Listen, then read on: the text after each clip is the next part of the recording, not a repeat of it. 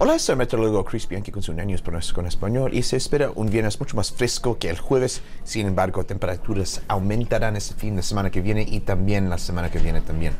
Esto fue el jueves antes de un frente frío que llegará durante la madrugada entre el jueves y el viernes. Eso traerá un poco de lluvia y nieve a la ciudad de Denver y eso terminará antes de eh, eh, antes de la mañana eh, el viernes y en la ciudad de Denver se espera un viernes con cielos mayormente despejados pero con temperaturas solos.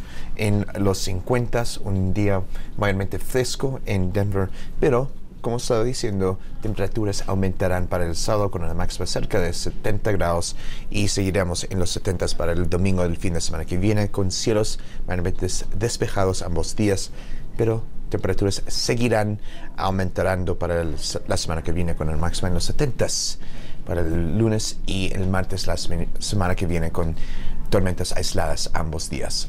Soy meteorólogo Chris Bianchi con su News pronóstico en español.